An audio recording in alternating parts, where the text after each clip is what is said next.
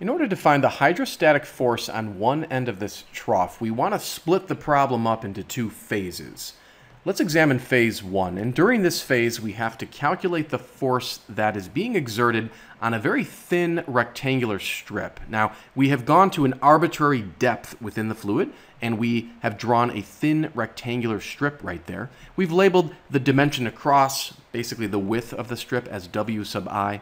This dimension here is very, very thin. It's a very tiny distance, and usually we ascribe a delta x to represent a very tiny distance in calculus.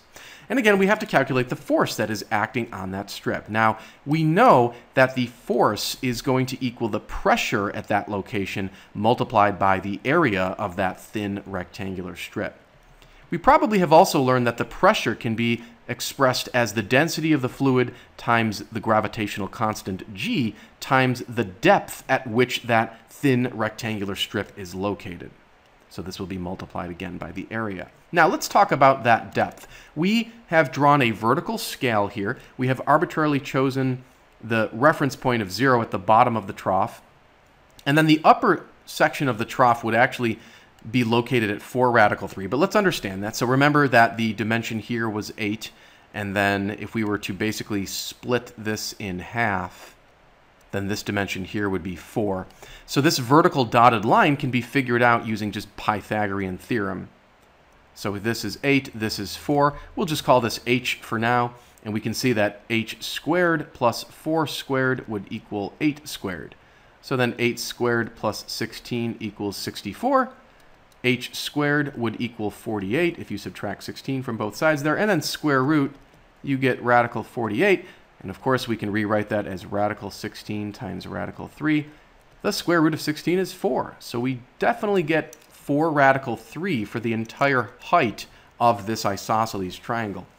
And then what we've done is at the location of that thin rectangular strip, we have arbitrarily given it a designation of x sub i star just a fancy symbol to show us that that would be the location of our thin rectangular strip. We got to figure out the depth below the surface. Now, the depth below the surface would be this little dimension right here because, you know, here's the top of the surface and then the strip is down here. So the depth would be that vertical distance right there. And we can see from the scale that since from here to here is the xi star, and from here to here is 4 radical 3, then this dimension right here would have to be the longer segment of 4 radical 3 minus the shorter segment of x sub i star. So in other words, for the depth, that little d in the equation, we're going to have the 4 radical 3 minus the x sub i star. So far, so good. Now, let's turn to the area. Area of a rectangle is just, you know, its width times its length. The width is wi, and then the length is very teeny tiny. It's just delta x. Why don't we just, you know, we're going to multiply by delta x, but we'll just offset it over here for now. So we're doing a great job right now, but the problem is we have w sub i, and we need that expressed in terms of x. You know, that way we just have a single variable. We would have x here, x there. We need the w sub i also expressed in terms of x. So that becomes our next goal. And to do that, we're going to have to examine some similar isosceles triangles. I think I've been saying they're isosceles, but in fact they were equilateral. I suppose that's not a big deal, but let's draw the larger equilateral triangle. And we know that that has a dimension across its base of 8. We determined that this was 4 radical 3. Then we have a smaller triangle right here. We'll just draw that. And that has a dimension labeled w sub i here. And then this length right here would just be this dimension along our scale. So that's just the xi star. So what's nice is we can set up a proportion to express w sub i in terms of x. So it's just a basic proportion. We could say w sub i is to 8 as xi star is to 4 radical 3. And then we will, mul whoa, that's a weird 3. We will multiply both sides of the equation by 8. So now we have w sub i is equal to 8 x sub i star over 4 radical 3. And we can reduce by dividing numerator and denominator by 4. So we get 2x sub i star over radical 3. That's awesome. Now we have w sub i in terms of x. So we'll fill it in right there. And now we finally have completed phase one of the problem. We have the force acting on this thin rectangular strip, and it is all expressed in terms of a single variable, x. And don't forget the little delta x there. Okay, so phase one is complete. We move on to phase two. Let's remind ourselves of what that was. Phase two was to integrate across the entire surface. So basically what's happening here is, well, it's the power of calculus. You're going to be taking not just one thin rectangular strip, but technically an infinite number of them. So you can imagine all sorts of thin rectangular strips along the trough's surface here. And integration allows us to add all of the forces that are acting on each individual one of the infinite number of strips. It's uh, pretty much a wild idea. So in phase two here, we're going to say that the total force is an integral, and then we're going to write our expression. But everywhere we have that little x sub i star, we can change that to just a variable x. So it begins to look like a standard integral. Also, the delta x becomes dx notation. As for the bounds, you're integrating vertically up the trough, so you're going from 0 to 4 radical 3 for your lower and upper bounds respectively. So 0, whoa, that is not looking good as a 0. 0 to 4 radical 3. Okie dokie, why don't we, hmm, why don't we factor out some constants? You have rho g, you have 2, and you have radical 3. So if we factor those out, you would have 2 rho g over radical 3 times the integral from 0 to 4 radical 3. And why don't we also just distribute that x?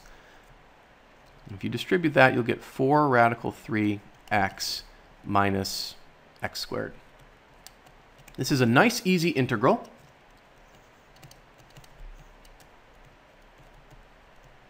because when we integrate, we're going to get 4 radical 3 x to the power of 2 over 2 minus x to the power of 3 over 3, evaluated from 0 to 4 radical 3. Now, you can simplify a little bit. I guess 4 divided by 2 is just 2, so we can actually just clean that up, make that a 2. We'll plug in the upper bound first, of course. 2 rho g over radical 3 we're going to have 2 radical 3 times 4 radical 3 squared minus, goodness, 4 radical 3 cubed over 3. That's the upper bound. Luckily, the lower bound is 0, so when you plug 0 into those x's, they just zero out, so you're going to end up subtracting nothing there, so that simplifies our lives slightly. Let's go ahead and square the 4 radical 3. So you're going to have 16 radical 9 which is 16 times 3, which is 48. And then over here, 4 radical 3 cubed. That's fun, isn't it? So 4 radical 3, that's the same thing as 4 radical 3 squared times another 4 radical 3. Now 4 radical 3 was just 16 times 3, which is 48. 48 times 4 is 192. So this is getting rather messy, isn't it? So it's 2 rho g over radical 3. Why don't we also do this? 48 times 2 is 96. So 96 radical 3 minus, goodness, we had 16 times 3 times 4. So that's 192 radical 3 over 3. We'll find a common denominator next. We'll multiply this by 3 and then multiply upstairs by 3. And 96 times 3 is 288. 288 minus 192 is 96. So inside here, you're going to have 96 radical 3 over 3. Outside, you have 2 rho g over radical 3. It's getting simpler now. The radical 3's cancel. You could do 2 times 96 divided by 3 and you're going to get 64. Thank goodness. So you get 64 times the density times g. Recall that the density given in the question was 840. So we can actually go in and plug in 840 times 9.8, which is the value for g. And we finally have an answer here. It's going to be 50, no, 526,848. This will be in newtons. And that is the total force acting on the side of that trough.